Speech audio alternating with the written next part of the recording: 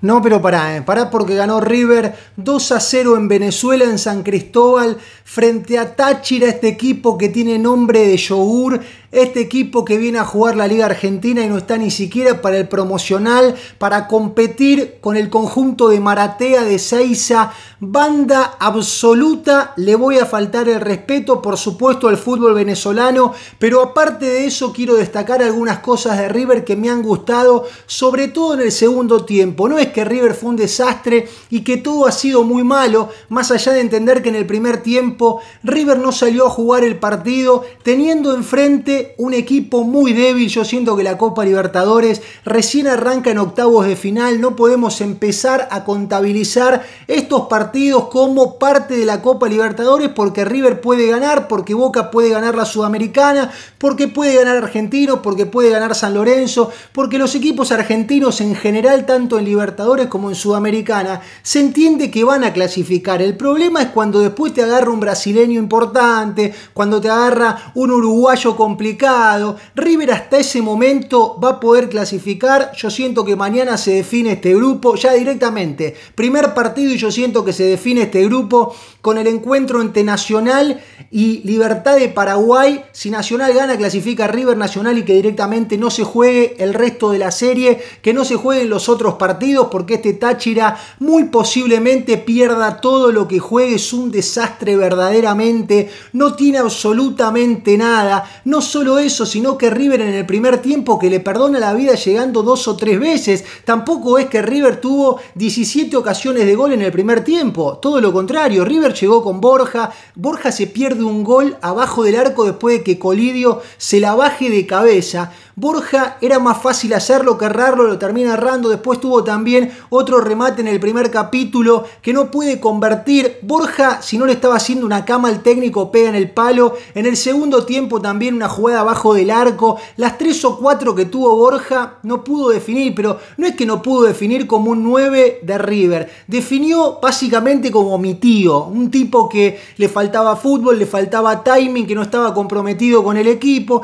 y que seguramente los goles que se pierde Borja en estos partidos son los que puede llegar a convertir en los encuentros importantes. Uno puede decir, che, Borja se está guardando los goles para los encuentros importantes. Por eso quiero diferenciar lo que ha sido el primer tiempo del conjunto de Michelis de lo que fue el segundo, con un River que en nueve minutos termina liquidando el partido y arranca ganando con la cara de un tipo, pega la pelota en la cara de Boselli y es gol de River tipo flipper, tipo pinball, tipo los jueguitos donde la pelotita va y viene tiki tiki tiki tiki, ahí pone la cara un jugador de River y abre el partido de esa manera, después que en el primer tiempo River tuvo dos jugadas claras de gol, que en el segundo tiempo había tenido otra jugada clara de gol y tenía que llegar un remate de un defensor pegándole al bulto, bien bien de escuelita de fútbol, de pibe de 6 años porque te dicen la tenés que sacar para afuera. Y el tipo revienta, el tipo grita, salimos en San Cristóbal, la gente venezolana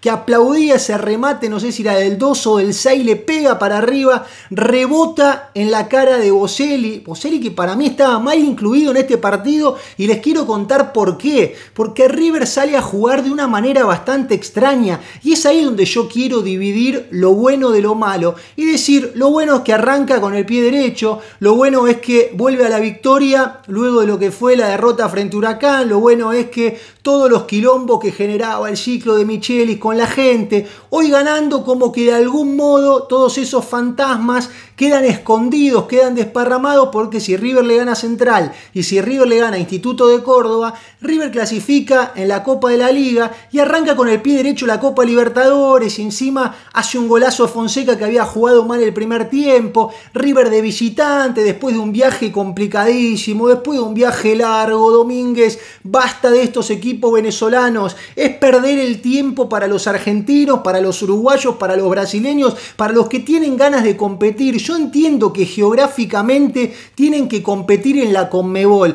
pero no sé, metele un repechaje de repechaje de repechaje para que terminen quedando afuera, porque clasifica el Táchira y da lástima. Entonces River tiene que viajar, tiene que hacer todo ese chino, todo ese viaje, no sé cuántas horas de avión, para después terminar definiendo el partido cuando tuvo con dos jugadas, y así pasa casi siempre con todos los equipos que van a Venezuela. Les digo más, y hagan el clip si quieren. River en la vuelta, en el Monumental, le gana 8 a 0 al Táchira. Realmente no tiene absolutamente nada. Incluso en el primer tiempo, cuando yo digo que River plantea mal el equipo, porque si Boselli juega de número 4, que es un tipo más bien central devenido en lateral, y no ponen un lateral habitual, qué sé yo, Herrera, siempre el no juega es mejor al que juega, pero cuando vos en la formación decís, es necesario tener a Boselli, que es más cuevero que un tipo que pasa al ataque, que no es un carrilero, quizás hasta como Simón, y lo digo en desmedro de algo que pienso yo, que Simón no es número 4, pero vos estás jugando contra el Táchira, y jugar contra el Táchira para poner casi tres centrales, porque terminan jugando con tres centrales. Boselli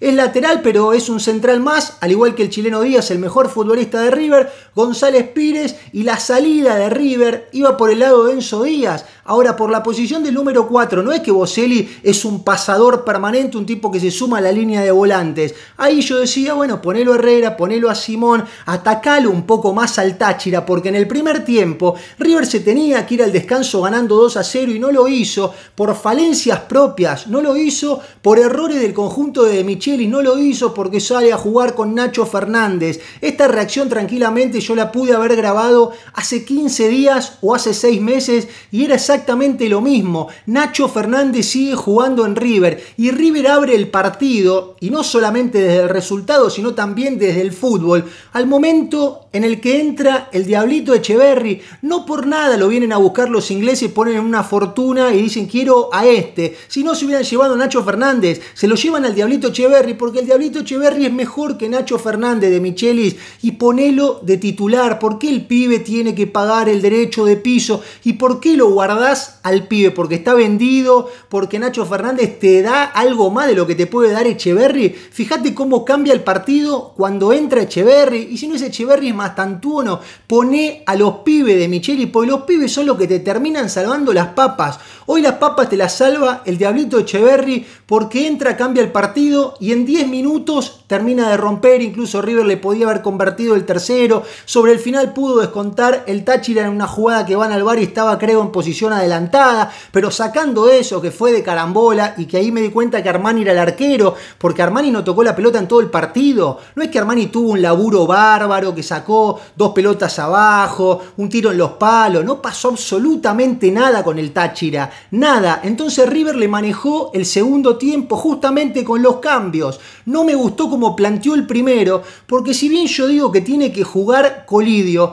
no tiene que jugar de número 11, porque si vos necesitas un puntero izquierdo, no lo pongas a Colidio, anda a buscar a Carbonero, anda a buscar a Villa, anda a buscar a Campas, anda a buscar un tipo rápido que juegue de 11. No, van a buscar a Colidio y lo ponen de número 11 y lo ponen a Solari de número 7, que debe ser el tipo que más pelotas perdió en el partido y en mucho tiempo. Solari puede jugar por la banda, pero Colidio tiene que jugar o al lado del 9 adentro del área o en consecuencia atrás del 9 como jugaba en Tigre, no de puntero izquierdo, porque termina perdido, porque Colidio termina jugando mal, justamente porque lo pone en una función que no es la suya. Hoy afuera Barco, bien de Michelis, me hiciste caso, viste los videos, sacaste a Barco que estaba jugando mal, me diste bola, Barco no puede jugar en la primera de River por rendimiento, simplemente por rendimiento, quizás el día de mañana Barco la rompe y termina siendo titular en River. Hoy no. Hoy River tiene que jugar con Echeverrio, River tiene que jugar con Mastantuono,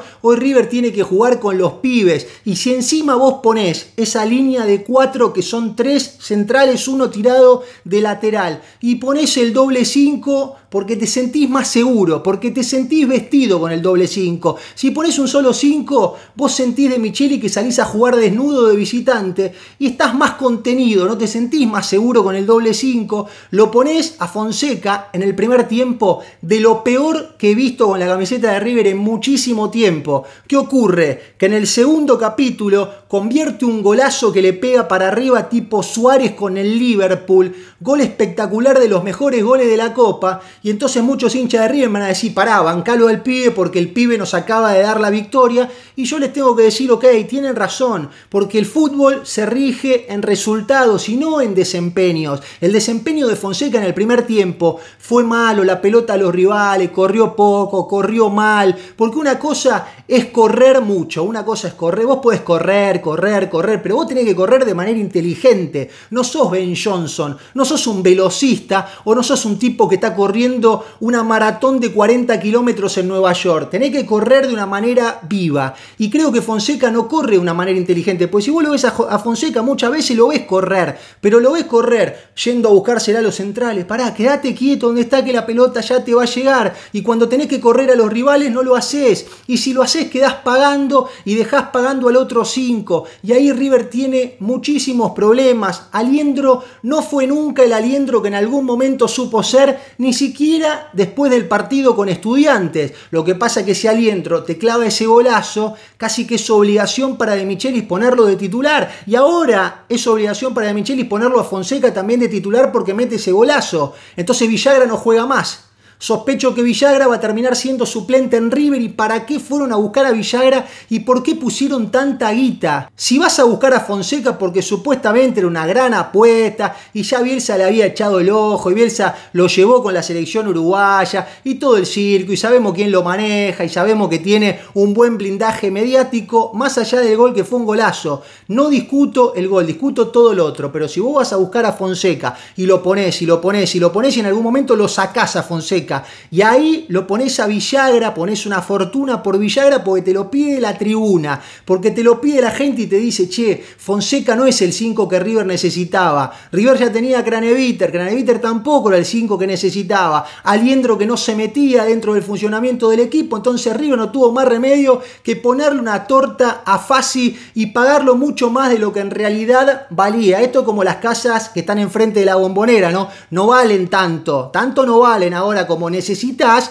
yo te digo que valen muchísimo. Y acá es lo mismo. Ante la necesidad fácil te dice, pará, boludo, yo no quiero vender. Sos vos el que querés comprar. Entonces ahora vale el doble o el triple. Y River en esa urgencia sale desesperado a buscar a Villagra de Talleres de Córdoba y Villagra no juega, y hoy juega Fonseca, y hoy juega Liendro. Y Villagra, si me apuran, tampoco es un monstruo, tampoco es un crack, tampoco le sobra tanto para jugar en River. Es un 5 común que más o menos se está empezando a adaptar en el funcionamiento de este River, pero hasta ahí, normal. River sigue atacando por los costados con esto que recién le decía Denso Díaz, con esto que recién le decía de estar perdido en los pies de Colidio, pero Colidio es voluntad, Colidio es un jugador que incluso se la puede bajar de cabeza a Borja dentro del área para dejarlo mano a mano al colombiano que no sé si pensó en el primer tiempo que le salía el arquero o qué, pero se termina perdiendo el colombiano, un tipo goleador, porque Borja es goleador, Borja tiene calidad, no voy a discutir las condiciones de Borja, pues sería absurdo, sería ridículo, Borja es de lo mejores delanteros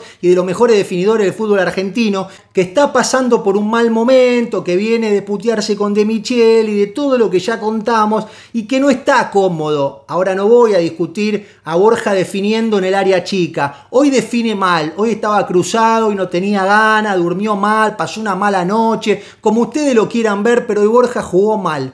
River empieza a ganar justamente con ese tanto de casualidad y de carambola que hizo en el segundo tiempo algunas cositas como para vulnerar la valla del pobre arquero venezolano. Vuelvo siempre a lo mismo, pero no es lo mismo jugar con Nacional, no es lo mismo jugar con Libertad que jugar con Táchira. Alguno queda fuera faltando siete fechas. Ese es Táchira. Táchira está fuera de la Copa Libertadores. Táchira se presenta porque ya debe haber cobrado la guita. La camiseta de Táchira está más vendida que Daniel Scioli. La camiseta de Táchira es un auto de turismo carretera. Publicidad, publicidad, publicidad, publicidad. Por todos lados publicidad un espanto la camiseta del Táchira. Deben necesitar guita y saben que los van a ver a nivel continental, a nivel mundial y encima en este partido con River y los tipos llenan la camiseta de publicidades. Ahora no pueden salir a competir de manera continental con este equipo. Es lamentable realmente. Yo no quiero pensar lo que va a hacer con Boca la Copa Sudamericana si esta es la Libertadores y le salen a jugar de esta manera al River de De Michelis, que no le sobra nada, que viene de perder, que está ahí de no clasificar, si bien yo creo que sí va a clasificar porque es River y porque le gana a Central, a Instituto y clasifica, y yo creo que lo va a hacer, pero va a clasificar cortando clavos, va a clasificar con lo justo. Ahora yo les pregunto a ustedes que son los que saben de fútbol, los que miran todos los partidos, los que siguen reaccionadores venezolanos, los que entienden absolutamente todo. Pues si no parece que yo le falto el respeto a los equipos del exterior que no juegan a nada, lo traemos al Táchira al fútbol argentino. ¿Y ustedes en qué categoría creen que juega? ¿Ustedes de verdad se piensan que el Táchira es mucho más que Sarmiento de Junín? ¿Ustedes se piensan que el Táchira es mucho más que Quilmes? ¿Ustedes creen que el Táchira es mucho más que Almirante Brown? Yo creo que es un equipito, ¿eh? pero realmente un equipito. Y River, por jugar de visitante, quizá lo respetó mucho en el primer tiempo y en el segundo dijo de Michelis, tengo que romper. De Michelis dijo, no puedo empatar este partido porque de vuelta lo iban a putear. Si hoy De Michelis no le ganaba al Táchira, iba a tener un problemón. Pero no por eh, la primera fecha, falta mucho todavía, sino porque arrancás la Libertadores con el pie izquierdo empatando este partido con una banda. De Micheli sabía que tenía que ganar y en eso empieza a meter mano en el banco de suplentes y rompiendo el equipo y sacando por ahí a los jugadores que tenía que sacar, que incluso los tenía que haber sacado antes, y los termina sacando en el segundo tiempo, de algún modo como que le cambia ese aire y en esa atmósfera riverplatense con los futbolistas que estaban en cancha y con ese oxígeno que le traía el Diablito Echeverri, River logra ponerse en ventaja, sacando que fue de pedo, sacando que fue si no estaba ahí Boselli, remataba para arriba, la pelota se iba a cualquier lado, eh, bajaba un avión, daba vueltas por el aire la pelota, quedaba bollando, en una de esas era gol, en una de esas era córner, en una de esas se iba de la cancha, podía pasar cualquier cosa. River tuvo suerte, sí tuvo suerte. Ahora la suerte también hay que ayudarla, a la suerte hay que acompañarla justamente porque no ganas la Copa Libertadores de pedo. Y River, la suerte que tuvo en el primer tanto la acompañó en el segundo, con ese gol que es una viveza y es una picardía de un tipo que la quiso poner ahí. Antes la habían tirado a la tribuna. Pero en esa jugada Fonseca dijo, la tengo que poner ahí. Y se tuvo confianza y la puso ahí. Y River empezó a justificar el resultado con más ganas que fútbol porque el fútbol le sigue faltando. Porque no es un super River, no es un gran equipo, es un equipo que hoy necesitaba ganar. Y en esto de pegar en los momentos justos, muchos de ustedes me van a decir, pero ¿cuáles son los momentos justos? Todos los momentos son justos para hacerle un gol a tu rival. Este era el momento justo, porque si a River se le complicaba en el segundo tiempo, en ese pasaje del partido, yo no sé qué pasaba sobre el final, porque Táchira en una de esas te tiraba un pelotazo al área como sucedió en la última jugada del partido, pifiaban los centrales, salía mal Armani y terminaban convirtiendo, sacándolo del bar y sacando todo lo que sucedió después, que le permite ganar a River 2 a 0 este partido, que le permite a River arrancar con el pie derecho y que de algún modo le permite a River, siento yo, clasificar a la próxima fase, porque más allá de Nacional y de Libertad, que ahí va a estar la papa, ahí va a estar la joda, ahí va a estar el torneo difícil y el grupo jodido va a estar entre Nacional y Libertad. River va a ganar, pero porque tiene trayectoria, porque tiene jerarquía y porque tiene más que el resto. Este Nacional igualmente no tiene mucho como para envidiarle a River. Y ustedes saben que veo a Nacional, critico a Nacional, no me parece un super Nacional, pero este Nacional le puede jugar a River de igual a igual. Aún así, creo que River va a ganar más de lo que va a perder en este grupo, que el grupo le tocó bastante facilongo en el sorteo, que fue una suerte de homenaje al mundo River Platense, con Enzo Francescoli, con Patanian, con Ruggeri y todo lo que armaron con las bolillas frías y demás, a River le tocó un grupo accesible. Y en esto de que le toque un grupo accesible, este partido lo tenía que ganar. Veremos cómo sigue toda esta historia. De arranque River tiene una vuelta complicada nuevamente porque viajar a Venezuela siempre es un problema, siempre es un quilombo, llega fundido el fin de semana, ahora también son jugadores de fútbol. Y en esto quiero ser consecuente con lo que vengo pensando en todo momento. Distinto es el caso de meterte por sierras, por calles de tierra y todo eso y otra cosa es un viaje largo. Bueno, listo. Tendrán que volver un viaje larguísimo, pero River va a enfrentar a Rosario Central, que también juega la Copa y que también tiene la cabeza en dos frentes. River le tiene que ganar a Rosario Central para después sí poder pensar en la Copa Libertadores de lleno, pero sabiendo que por lo menos clasifica. Si River no clasifica la próxima fase de la Copa de la Liga, ya el fracaso es estrepitoso. Entonces River ya clasificando a la próxima fase es todo mucho más relajado, porque después podés perder con cualquiera, después es fútbol, y si River queda fuera en el playoff, no creo que sea una catástrofe. Ahora, si no clasificás entre los cuatro, ahí la historia cambia. Y De Micheli sigue estando mirado de reojo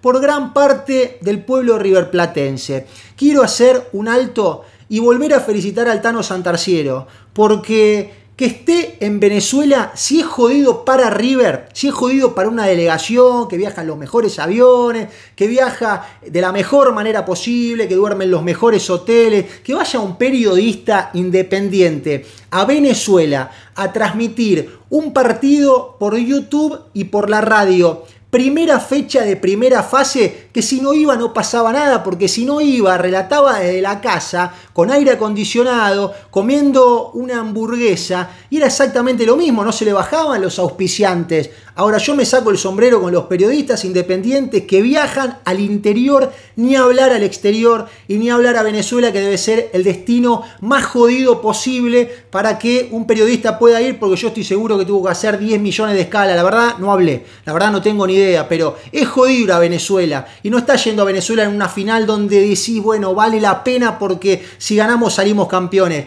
Primera fecha.